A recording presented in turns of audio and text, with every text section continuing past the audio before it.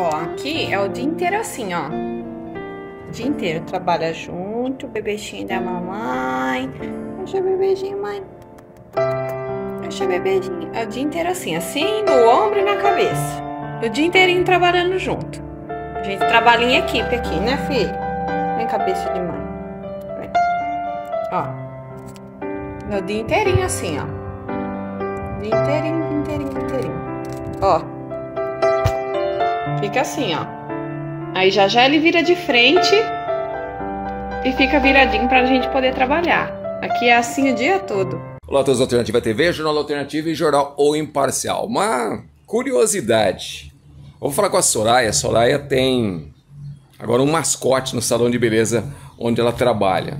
E é claro, está encantando todo mundo que vai até o salão.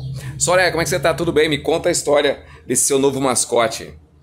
Oi, tudo bem? Ah, então, o beija-florzinho apareceu ali, ele tava caidinho, né?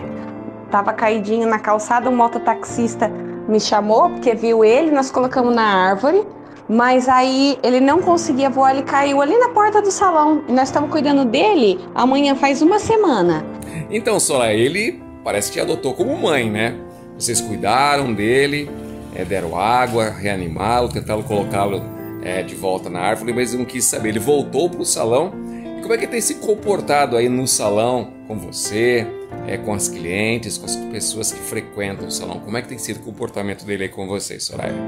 Ele é um amorzinho, um chuchu. Ele é um amor. Ele gosta de ficar colinho, quer trabalhar em cima de mim. Soraya, então vamos mostrar para todos como é o dia a dia do Beija-Flor aí com você no salão. Lembrando que a Soraya não mantém o Beija-Flor em cativeiro, tá? Esse Beija-Florzinho apareceu lá, ele escolheu a Soraya é, como mãe, né? E ele convive com ela ali de forma livre. Ele vai e volta quando ele quiser, tá ok?